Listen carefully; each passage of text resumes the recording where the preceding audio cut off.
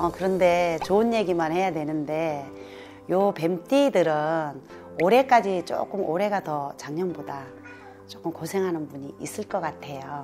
삼재가 작년에 끝났지만 끝난 삼재가 아니고 올해까지 조금 이어가는 이런 형국이 들었다 볼 수가 있겠습니다.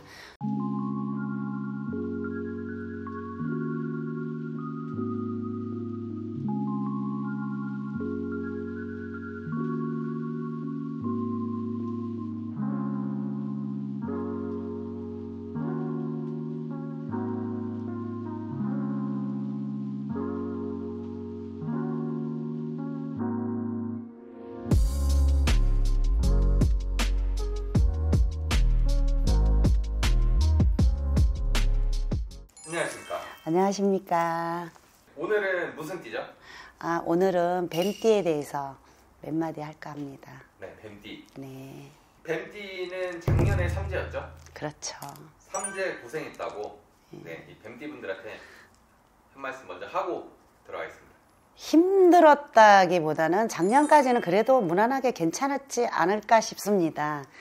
어, 그런데 좋은 얘기만 해야 되는데 요 뱀띠들은 올해까지 조금 올해가 더 작년보다 조금 고생하는 분이 있을 것 같아요. 삼재가 작년에 끝났지만 끝난 삼재가 아니고 올해까지 조금 이어가는 이런 형국이 들었다 볼 수가 있겠습니다. 첫째는 희망찬 이제 뭐 어, 금전운인지 사업운이라든지 이런 게 들어오는 나이대도 있지만 대체적으로 보면은 건강을 좀 조심하셔야 되고 일에 조금 지체가 될 수 있습니다. 구설, 구설을 조심해야 되고 무리한 투자를 안 했으면 하는 바람이 듭니다. 어, 대체적으로 조금 몸수로 치고 갈 운이 들어 있으니 올해까지는 조금 잘 넘어갔으면 하는 바람입니다. 그러면 이 부분 선생님이 방금 말씀해 주신 네, 네. 부분만 조심한다면 그렇죠. 어떤 좀 좋은 운들이 들어올까요? 문서를 잡을 수 있는 분들도 있겠지요. 그런데 문서를 잡고 내가 사업에 크게 투자를 한다든지 이러면 정말 손해보는 해가 될 것 같은 그런 생각이 드네요. 그래서 조금 조심을 해라 하고 싶어요. 그래도 이 분들 이제 좋은 운들도 들어오지 않을까요? 아, 그럼요. 뱀띠가 어떻게 다 안 좋으면 어떻게 세상을 살겠어요. 좋은 운은 아까도 얘기했지만 이제 그런 식으로 이렇게 가면 좋게 잘 지나가고 작년보다는 올해 조금 주춤 쉬어가라는 운이니까 조금씩 이렇게 조심할 거는 조심해서 가면 나쁘지는 않다라고 보여집니다. 예.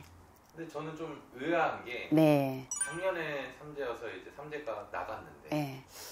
올해가 좀 힘들다는 게 어, 삼재가 이제 작년 같은 경우는 소띠, 닭띠, 그 다음에 지금 뱀띠가 삼재였어요. 그래도 뭐 소띠나 이렇게 무난하게 닭띠하고 다 넘어갔어요. 뱀띠들은 삼재래도 날삼재의 복삼재였어요. 그래서 나쁜 일보다는 아마 좋은 좋았던 일이 있는 사람들이 더 많지 않았을까 싶은 제 소견이고 단 이제 생일에 따라서 틀리겠죠. 그러나 대체적으로 무난하게 괜찮았으리라 봅니다. 특히 사업하고 금전운이나 이런 거는 있는 분들이 많은 걸로 알고 있기 때문에 전체적으로 그렇다고 보여집니다. 예, 그렇지만 힘 가지시고 뭐 나 안 좋다 해서 그거에 연연해 하지 마시고 나름대로 노력하고 내가 조심할 거는 조금 조심해서 가면 좋은 일이 있지 않을까 싶습니다. 이 뱀띠 분들한테 마지막 마무리로 이제 한 말씀 부탁드리겠습니다. 아, 뭐, 내 띠가 뱀띠인데 안 좋다 해서 고민하지 마시고 순리대로 내가 안 좋은 건 피해가면 되고 욕심을 조금 덜 내시면 되고 이렇게 해서 올해에도 좋은 일만 가득하시기를 바랄게요. 그리고 뱀띠들이 이제 1월달, 이제 2월달 다 이렇게 조금 스쳐 가셨어요. 그러니까 앞으로는 희망찬 일이 더 많을 거라 보여집니다. 감사합니다. 감사합니다.